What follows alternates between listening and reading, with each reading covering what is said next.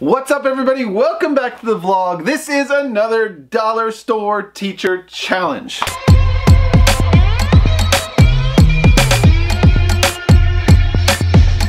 Okay, so, so I've been out of the classroom for, for a few years and I'm kind of at a loop on a lot of things, but one of the things that I keep seeing pop up on people's feeds are something called desk pets. I, I've never experienced these before, but I keep seeing people share these ideas of little trinkets and items and pets to give to students on their desk, which great. Maybe you're using it for rewards. Maybe it's just a fun thing. Maybe you're making a learning engaging with those, whatever it may be. I decided to jump on that bandwagon, but I found a new idea to make desk pets a little bit more interactive for your students. And I found everything that I need for this at Dollar Tree in the toy section. So if you're wondering what that might be, I absolutely love Legos. Well, Dollar Tree sells an off-brand of Legos called Make It Blocks. Make It Blocks. They look like this. So I thought, what better way to make desk pets interactive and fun than using something like Lego. So for two bucks, for two bucks. Now this is gonna cost you more for an entire class, but I'm asking, telling you, ask for donations of this kind of stuff. Ask for donations. What you're gonna need to do is get one of the, actually not even one of these. Let's see, let's try something here. I was gonna say one of these for each of your students, but hang on, we're gonna, we're gonna, we're gonna do this.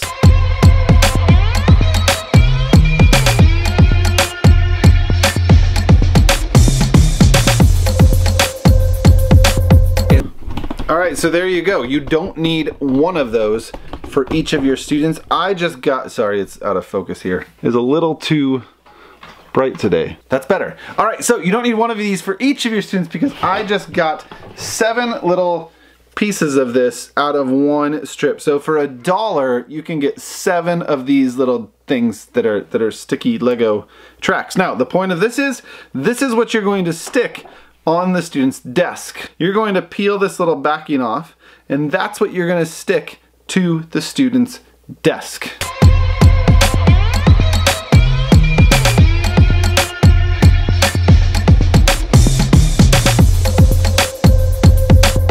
Now you've got the little sticky piece on each of your students' desks and that's what they're gonna use to collect or build their desk pet. But for desk pets, I'm using dollar boxes of two make it blocks, not Legos, I don't wanna get sued here, make it block figurines. So two of these for a buck. So there you go. You can either buy these, ask for donations, maybe just Lego donations as well of parents that are getting rid of stuff and cleaning out stuff.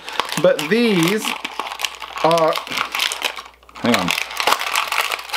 These are Make It Block brand minifigures, right? The little minifigures like you see for, for Lego guys. The cool part about this is children could earn these as their desk pet, right? Maybe you have a whole box of different minifigures that you can use as desk pets. They can earn them, stick them on their piece, and they stay there for the week or however long it may be.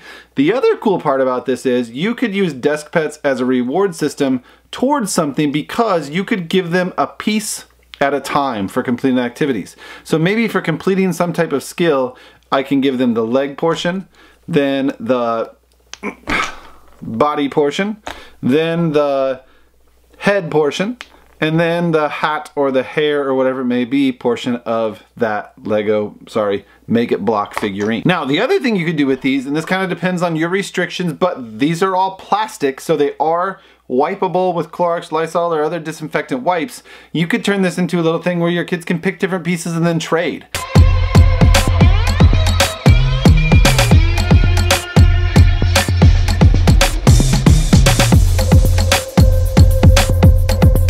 So maybe they have their little minifigure or their, their desk pet, whatever you want to call it, on their table and uh, they want to trade with a friend and, and let them do that by wiping them off. So anyway, I think it's a great idea to use these as a reward incentive or just an incentive for some type of learning. Maybe they're gonna write about their desk pet. Maybe you could just randomly go around and give them different minifigures. Like this guy is different than the one that I took apart. This is a pirate this is a knight. So maybe they could write about the minifigure or desk pet that they got for the week.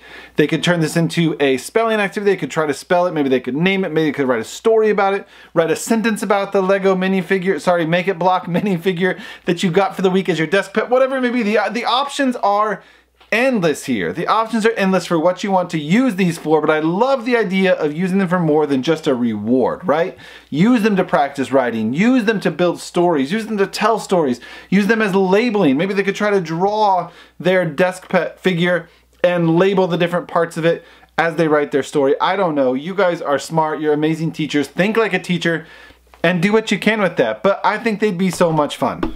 All right, let me know in the comments what you're using for desk pets. If you like this idea, any other ideas you have to use the little minifigures for desk pets, whatever it may be, tell me how you're using them and uh, we'll be back soon with another dollar store teacher challenge for all of you.